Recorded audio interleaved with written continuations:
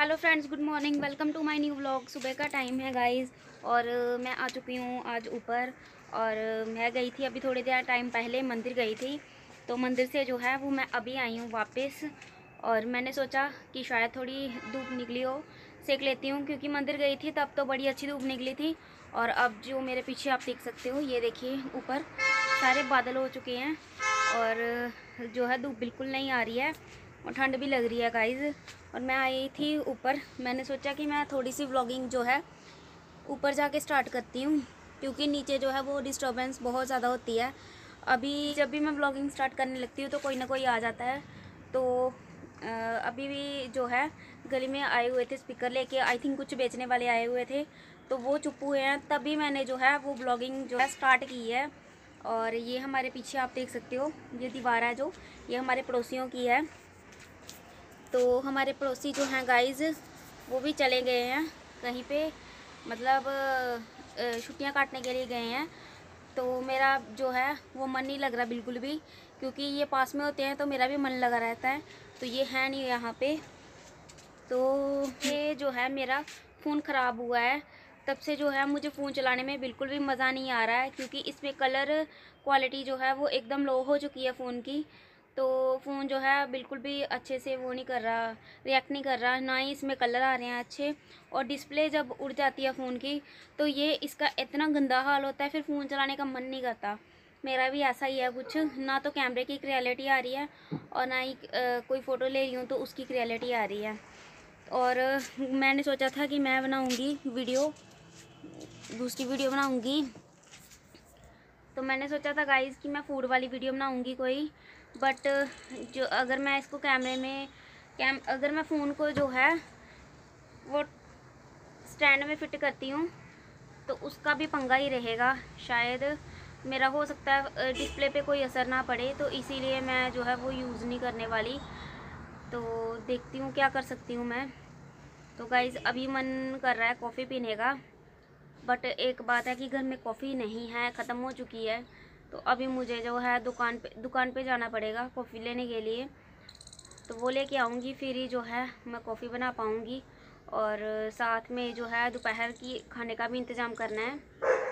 तो गोभी काटी है आज मैंने तो आज हम बनाएँगे गोभी बनाऊँगी। अकेली गोभी बनाऊँगी, आलू नहीं उसमें डालूँगी, क्योंकि आलू मुझे पसंद नहीं है इतने ज़्यादा। तो अगर पॉसिबल हो पाया गाइस तो मैं आपको दिखाऊँगी कि गोभी कैसे बना रही हूँ। क्योंकि बेसिकली जो कैमरा है, वो लगाना पड़ता है स्टैंड में बट फ़ोन ख़राब ना हो जाए, इसीलिए मैं स्टैंड का बिल्कुल भी इस्तेमाल जो है, वो नहीं कर रही हूँ। तो चलिए देखते हैं क्या कर सकती हूँ। तो चलिए गाइस चलते हैं नीचे और कॉफ़ी लेने जाती हूँ और कॉफ़ी बनाती हूँ। तो चलिए।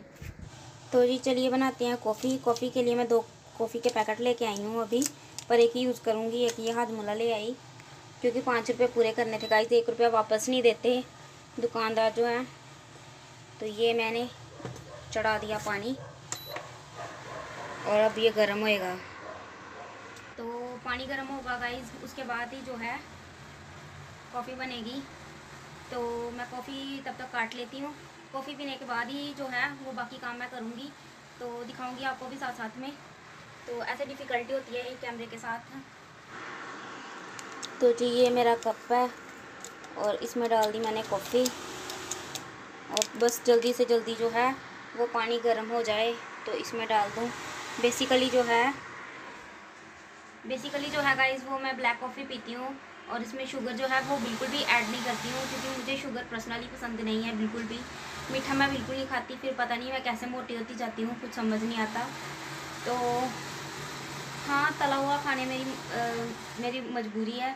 मेरे मुझे बहुत अच्छा लगता है। उस वजह से शायद फैट जो है वो मेरे शरीर पे जो है वो इकट्ठा होता जाता है। लो जी पानी हमारा जो है वो गड़क गड़क चुका है एकदम। और अब इसमें जाएगा पानी और बनेगी मेरी कॉफ़ी ये गया पानी। इतना काफ़ी है।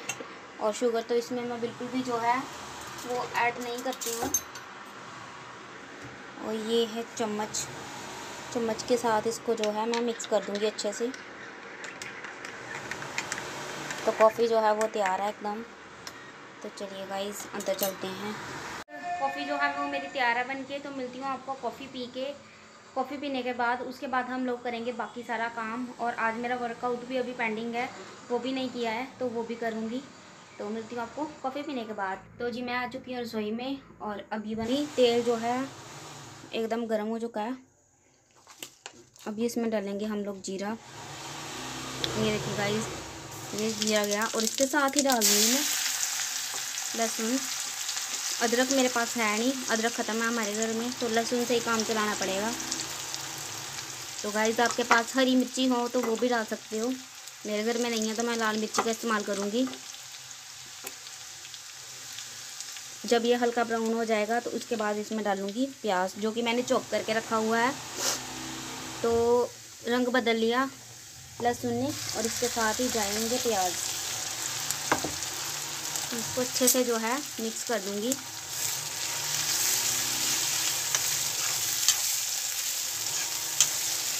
मिलती हूँ गाइज़ आपको।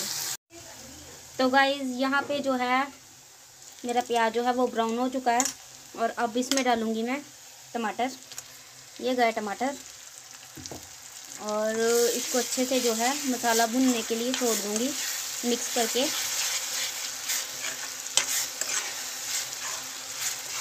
एक हाथ से कैमरा मैनेज करना बड़ा मुश्किल है गाइस। और तो इसको मैं स्टैंड में भी नहीं लगा सकती, डिस्प्ले ख़राब होने की वजह से। और ये हमारी जो है अभी थोड़ी देर में हो जाएगा, मसाला भुन जाएगा। उसके बाद जो है मैं आपको दिखाऊँगी। जी मसाला जो है हमारा भुन चुका है। आप साफ़ देख सकते हैं वीडियो में कि जो तेल है वो अलग हो गया है मसाले से। ये देखिए, ये तेल छोड़ दिया मसाले ने। इसका मतलब ये अच्छे से जो है, वो भुज चुका है। अच्छे से भुज चुका है और अब इसमें डालूँगी मैं हल्दी। ये हल्दी गई इसमें और साथ में डालूँगी इसमें देगी मिर्च।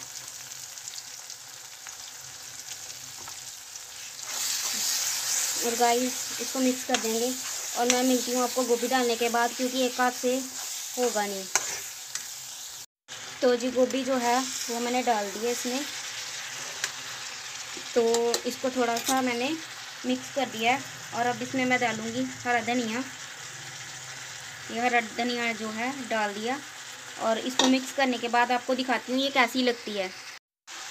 तो जी, धनिया डालने के बाद गोभी कुछ कुछ ऐसी दिख रही है।